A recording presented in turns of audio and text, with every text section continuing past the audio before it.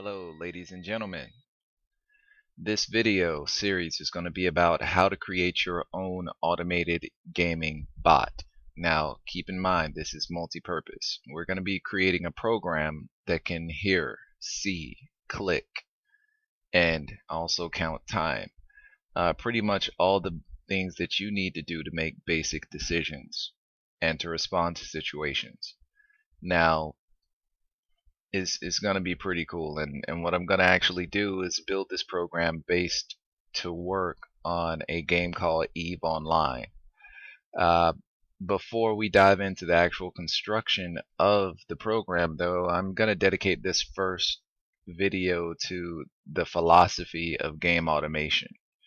Now the reason I want to cover this is because I'm sure that even now there are going to be people out there who are going to get up on this video who are going to comment who are going to give me thumbs down saying hey what are you talking about creating a bot for eve online? They ban people like you. You're dumb. Why are you playing the game if you don't feel like waiting? Blah blah blah blah blah. If this is you go ahead move your mouse to the stop button click on it and move elsewhere. Spend your time doing something you enjoy. Not sitting here causing causing arguments and, and bringing up discussions which are not constructive at all. Now, if you are one of those people who, like me, values your time, uh, values your time more so than to want to sit there and do things, menial tasks, which are honestly not going to edify your life at all, go ahead and let's get started. All right.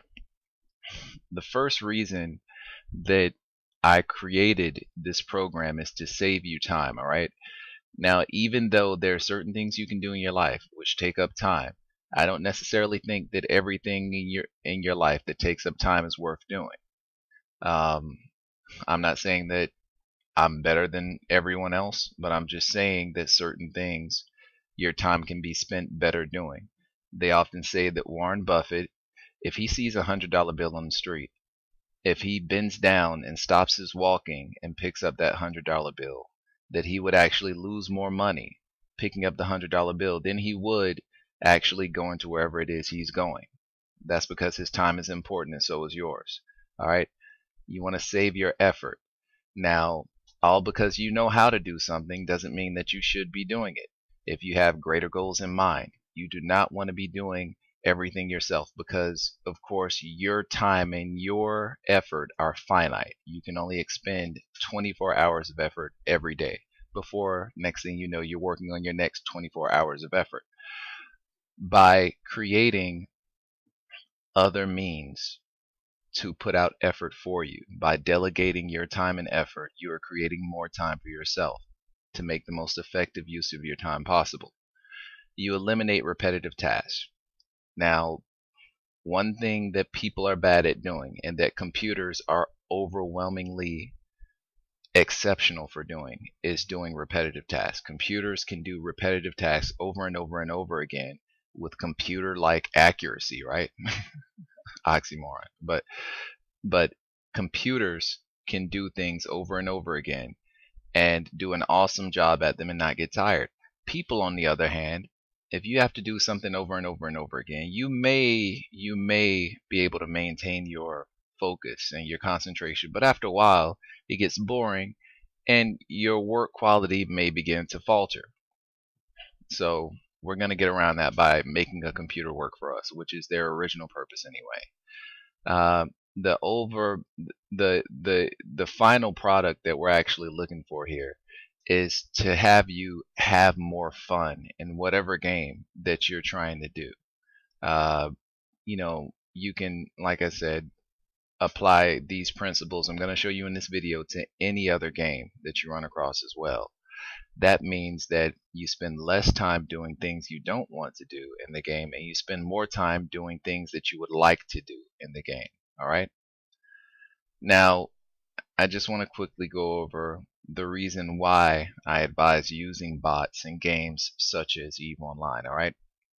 To me, games kind of break down to two general categories. Now, there is some gray area in here, and there are some games that, that have both qualities. But to me, generally, you have performance based reward systems in games, and you have time-based reward systems in games.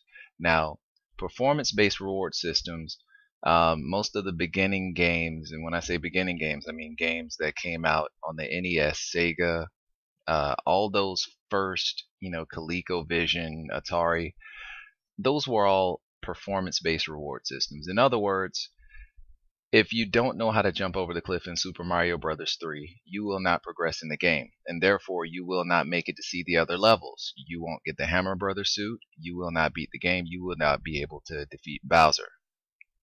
Now, this is the case for Sonic the Hedgehog, Unreal Tournament, uh, the first one I'm thinking about, um, the Game of the Year edition, the one that people still play 15 years later right now. Uh, that game, once again, the better you shoot people, the more fun the game is, and and really the more you can progress because of course your your time killing people is directly related to your rank in the game, so on and so forth. Uh, same thing for Counter Strike as well. I'm thinking about Counter Strike 1.6. I can't speak for the later ones, but the premise is basically the same. The more people you kill, the better your team works together, the more money you get, the better the weapons are that you can get, so on and so forth. These are not time sensitive things. You can do what I mean to a certain extent they are, but it's more directly tied to your effort. Now, let's get to games like Battlefield 2, uh, OGame, which is a online game, which is a pretty cool game, and Eve Online. Now, in Battlefield 2, though there is an aspect which is performance based, all right, there's also a time-based aspect. In other words, no matter how well you play, you still have to put in X number of hours in the game to unlock certain weapons in multiplayer mode. Now, to me, you've already spent your money to purchase the game. Now, how do most of us make our money? We spend our time to at our job to get a paycheck.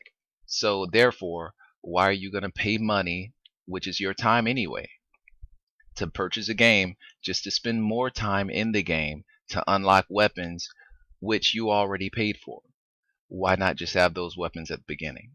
All right, that's why people came up with unlocks. There's a uh, a hack for it. You can you can get unlocks for Battlefield 2, and it unlocks all the different weapons which were hidden. Now, for me, I don't believe that unlocking those weapons makes the game any less pleasurable to me. In fact, it gives me more options and it makes it more awesome to me. Now, same thing with EVE Online. You have to spend a certain amount of time training skills and other menial tasks as well. To me, this this game epitomizes what I'm talking about. Now, don't get me wrong; there are fun aspects to the game as well. Remember, I said there's gray areas. So, performance-based reward systems would be you fighting other players and destroying their ships. You have to work for kill mails. Now, on the other end of the of the token here, we have things like moving from one jump, jump gate to another. Uh, we have things like mining, things like things that you know how to do, but that are repetitive to do so, and quite frankly, not worth your time to do. These are the things that we're trying to eliminate so that you can have a more pleasurable gaming experience without having to put up with repetitive things which can water down your experience or make it less pleasurable. Because let's face it, no one knows when you're going to die. No one knows when's the last time you're going to speak to your family members. Why not spend time that you would spend on a game uh, doing menial tasks, doing it to doing things that you would actually like to do uh, while you're autopiloting to somewhere, not using the crappy autopilot system that Eve created, creating your own autopilot. While you're doing that, saving time, saving your own effort, why don't you do something else that you like to do instead? And therefore, you're enhancing your life. You're not sitting there doing something on a computer that you don't want to do for the sake of doing it.